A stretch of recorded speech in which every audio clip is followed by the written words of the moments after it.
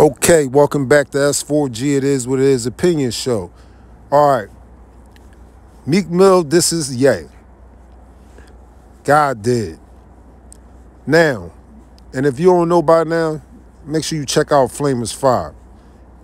Uh I wasn't gonna speak on Meek, first of all, you know, when Kanye started going in on everybody. Cause everybody knows I rock out and stand by my city. And not only that, because Meek Mill showed me love when we got history. But at the end of the day, when Meek dissed him, said, I got to talk about this. And this is why. For number one, of course, in the diss, he said, I'll never sell my soul like Kanye. Basically, threw at him what he said.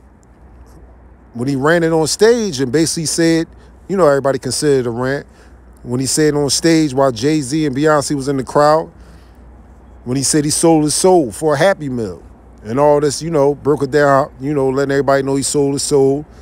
You know what I'm saying? So basically, threw at Kanye what he said and reminded everybody what he said.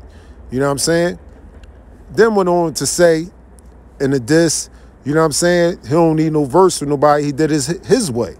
You know what I'm saying? And I'm not gonna lie, when I heard Meek artists on uh, his artist Vory on Kanye Donda, I was saying it to myself. I'm surprised Meek not on there.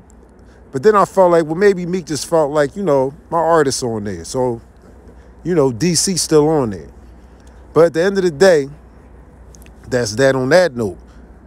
But this is what I got to say about him refreshing the memory about Kanye saying he sold his soul if Ye is going to respond, and not only that, how are you going to respond?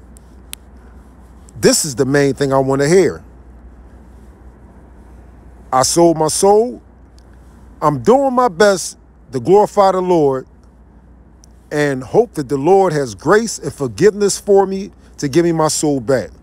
Or is he saying, or is he going to say, I prayed to the Lord, Jesus came to me, and gave me my soul back? Or is he going to say, I messed up, y'all. Pray for me. That's what I'm doing right now. That's why I'm going through what I'm going through. So at the end of the day, it is what it is. That's what I really want to hear at the end of the day. You know what I'm saying? So right as soon as I heard that, I said, oh man, you know what I'm saying?